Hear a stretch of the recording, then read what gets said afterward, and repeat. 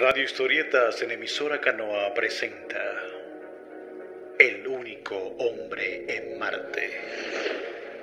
Patrocinado por Jabones Migo, porque queremos bañarnos contigo.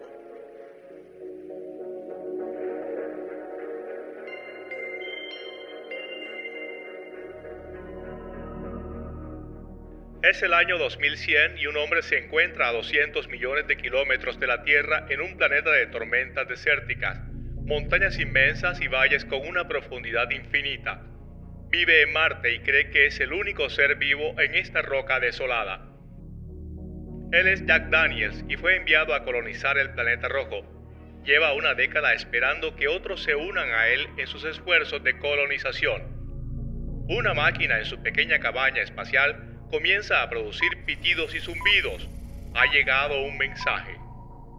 ¿Un mensaje de sus compatriotas? No, solo son los últimos resultados del fútbol colombiano. Junior 0, Equidad 1. Ah, estoy tan lejos de la tierra y ni así puedo escapar de la miseria de ser hincha. Jack Daniel se pone su traje espacial y sale de su cabaña frustrado. El desierto marciano le saluda. Cuanto más camina, más fuertes son los vientos del desierto. A lo lejos, ve a una mujer con un largo vestido blanco. ¿Cómo puede ser? ¿Ha llegado por fin otro humano a este planeta? ¿Cómo puede respirar sin casco? Ella le llama y él la persigue. Los vientos se vuelven aún más fuertes. ¿Quién está ahí? Finalmente puede ver la cara de la mujer, una que reconoce. Es la primera mujer que amó en su vida. ¿Qué haces aquí? Ven conmigo y te lo explicaré todo. Camina tras ella y llegan a una cueva de diamantes brillantes. Mientras más se adentran, más maravillosos son los diamantes y sus colores. De repente, ella se da la vuelta y mira a los ojos de Jack Daniels. Quítate el casco, aquí puedes respirar.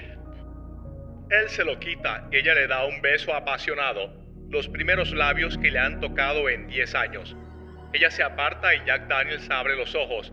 De repente ya no tiene dos brazos sino cuatro. Sus ojos ya no están solo en su cara sino en todo el cuerpo.